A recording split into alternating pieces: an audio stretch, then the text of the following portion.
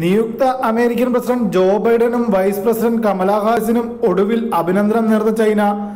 American ജനതയുടെ തെരഞ്ഞെടുപ്പിനെ ഞങ്ങൾ മാനിക്കുന്നുവെന്നും ബൈഡനും കമലാ ഹാരിസിനും അഭിനന്ദനം അറിയിക്കുന്നുവെന്നും ചൈനീസ് വിദേശകാര്യ മന്ത്രാലയ വക്താവ് വാങ് ബെൻബിൻ അറിയിച്ചു.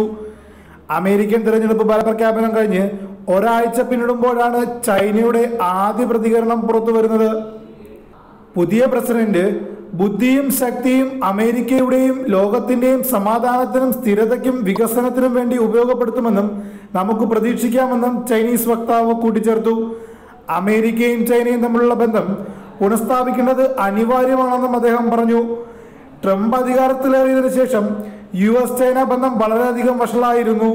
അമേരിക്കയേക്കാൾ വലിയ സാമ്പത്തിക ശക്തിയുമായി ചൈന മാറുകയാണെന്നും രാഷ്ട്രീയമായി ഇരു രാജ്യങ്ങളും ഒരേ തലത്തിലുള്ള ആഘാതമായിരിക്കും ഇനി ലോകത്ത് സൃഷ്ടിക്കുകയെന്നും വാങ് വിൻ കൂട്ടിച്ചേർത്തു.